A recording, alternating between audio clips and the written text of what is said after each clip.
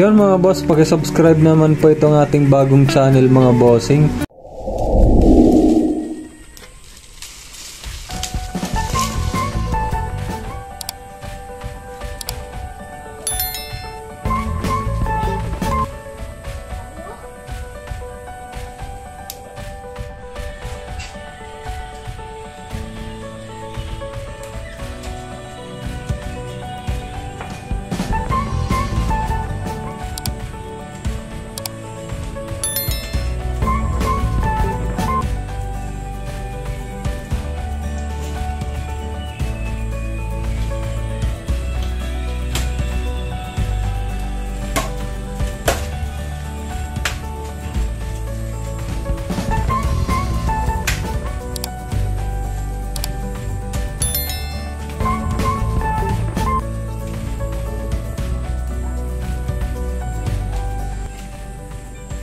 Kamusta mga bossing? So magandang hapon po sa inyong lahat. So andito tayo ulit sa farm mga boss at direct na tayo mga bossing. Yun at nakita nyo naman mga bossing na konti lang yung ating uh, piglet na inianak ng ating dalawang inahin. So yun nga, medyo hindi maganda. Sayang naman po, engineer. Nakikiramay po ako. Joke lang po. So yun yung mga boss, ano, nagbabalik ulit tayo sa ating pag-aalaga at ito pa lang yung pangalawa at pangatlong inahin na nanganak sa farm natin. Yung unang nanganak naman is okay siya, 11 piglets at yun naman ay ano, artificial insemination, so AI mga boss. Ito naman dalawa yung binarakuhan mga bossing. So ganun nga pagka minsan mga boss ano.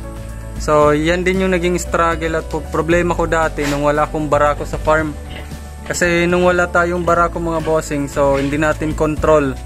Ngayon, syempre may kinalaman yung barako, syempre sa dami ng magiging anak ng isang baboy mga bossing. Kung properly condition yung isang barako, ay magiging maganda din. So, isang factor yan. Isang factor din yung, syempre, yung inahin mga bossing. At, halimbawa kung hindi maganda yung pagkakondisyon o may problema yung inahin mga bossing along the way nang habang siya nagbubuntis, So magkaka-problema talaga mga bossing. Ngayon, yung ibang inianak kasi niyan, hindi na lang naman yan mga ano, mummified mga bossing. So mga itim yun sila. So mga mata, patay na sila bago pa man sila mag-mature or ma-develop. Mga boss, so yun. So isang ano ko rin minsan, isang factor lang naman, hindi ko sinasabi o pinipinpoint yung uh, barako mga boss. Pero isang factor yun kasi dati din nung wala akong barako dito sa farm is problem ko din talaga yan na minsan may nagkakaganyan mga boss. Kasi out of nowhere mga bossing kasi baka yung barako is infected. Dahil ginagamit kasi yan sa labas lalo yung mga barako na gamit sa labas sa iba't ibang mga farm. And uh, big problem din yan mga bossing kasi baka mayroong mga sakit-sakit may transmit sa farm natin. So tama po engineer. Mahalaga na may sariling barako para maiwasan ang transmittable diseases na maaaring dala ng barako na na-infect sa ibang farm. Mabuti na lamang po at big lang ang affected. Ang isang mahirap pa po dyan kung pati ang inahin ay magkaroon ng sakit at kumalat sa buong farm. Pero ngayon malaki na naman yung inalagaan kong barako doon mga boss at possible sa next ano natin next cycle nito pag naglandi ulit is possible magamit na natin.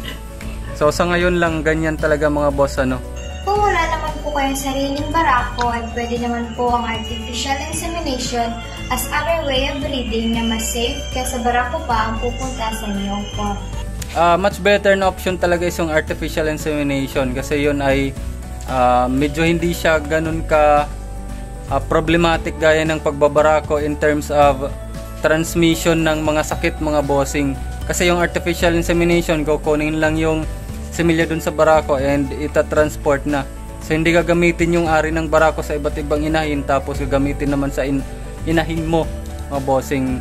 Problem also kung yung uh, may infection is yung barako mismo kasi pag kulik mo ng similya noon is uh, infected na rin yun. So ganun talaga mga boss. So importante talaga pag meron tayong baboyan, much better may sarili tayo ding barako mga boss.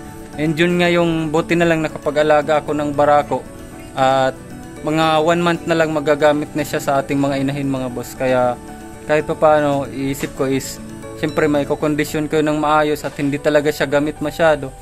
Kaya possible maging okay na rin yung output natin sa susunod.